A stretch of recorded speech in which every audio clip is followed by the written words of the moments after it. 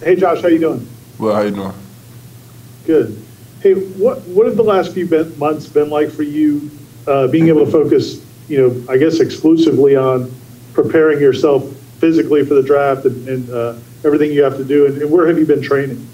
Uh, I've been at Bommaritos down in Aventura in my, uh, Miami, and it's been fun. Honestly, I've been focusing on just ball, and honestly felt like a kid just out there training for just ball.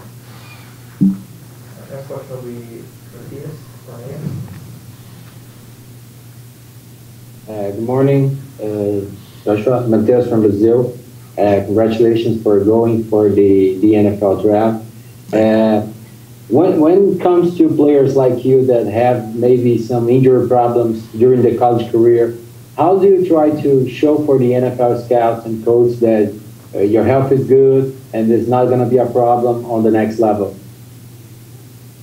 Um, just rehabbing and stuff like that, and then performing.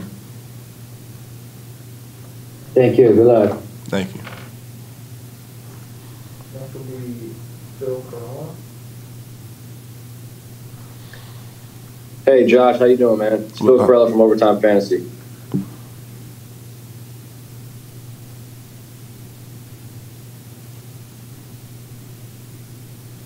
Still there?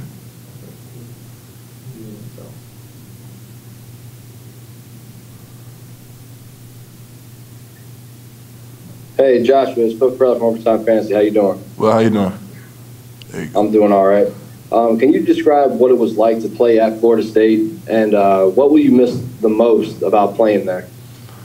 Um, it was nice to play somewhere where there's so much tradition and so many elite level guys before me, and would, I'll miss just playing with my dogs the most. next will be Brennan Snow. Hey Josh, I was hoping you could walk us through the process of the decision to declare for the NFL draft. You obviously had the option to come back with the extra year of eligibility. So I guess what was that that process like? Did you consider coming back, or were you always kind of anticipating to to go pro after the season?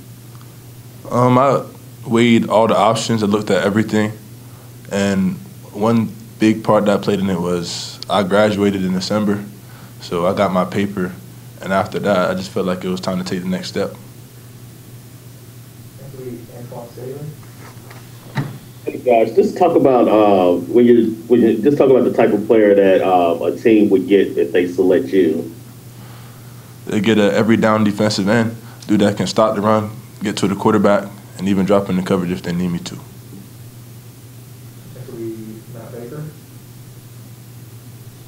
Hey hey, Joshua, how do you kind of assess where the Florida State program is now as you're leaving it compared to where it was when you got there? Uh, I definitely think they got some good stuff going, and I trust that Coach Norvell will get this place back where it needs to be. Next will be Irish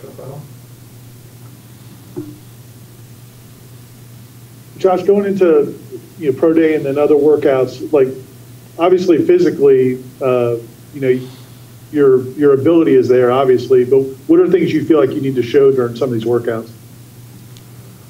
Um, honestly, I just want to go out there and do everything and just look smooth doing it, look fluid doing it.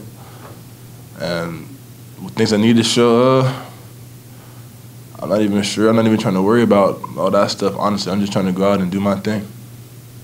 All right, next will be Christopher Hidell. Hey Joshua, thanks for taking my question. What does it mean for a young kid growing up in Baltimore? And I know you went down there for Florida for one year to get ready for college, but what do you mean for you growing up in Baltimore going to be probably one day in the NFL? Well, this this time next year.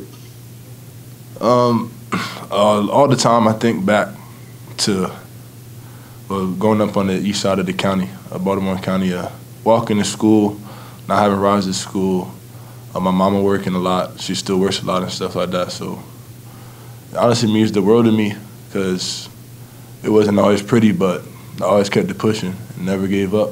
And God willingly, I'm right where I dreamed about being, you know.